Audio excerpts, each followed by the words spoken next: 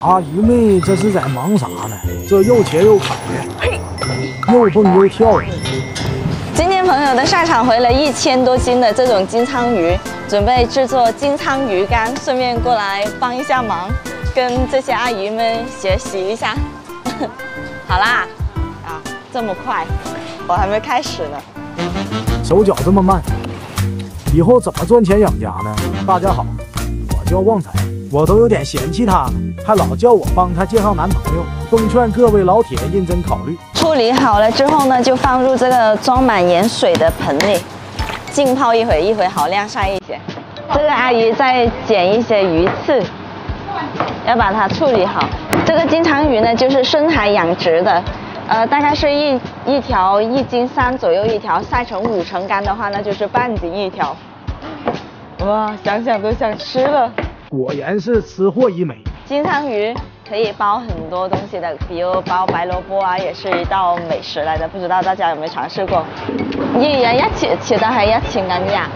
哇！阿姨说一天的话可以切掉一千多斤的鱼，很厉害了哦。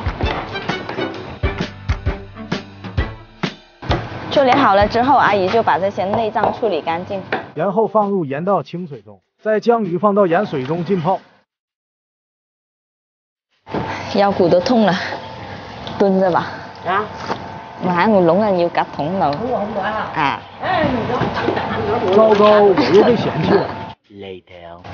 用个盆压着，让它腌制的更加均匀一些。腌制四十分钟就可以去晾晒了。A few moments later。腌制的时间已经到了，我们现在把它拿出来，要过一盆清水。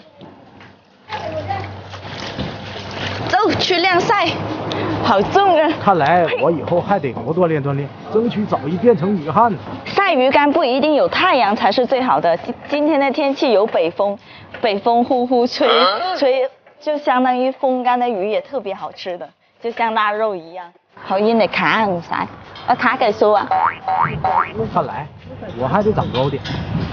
跟阿姨的配合度极高，分工合作，她来勾起来，我来挂起来。这样的天气，风吹两天就干了。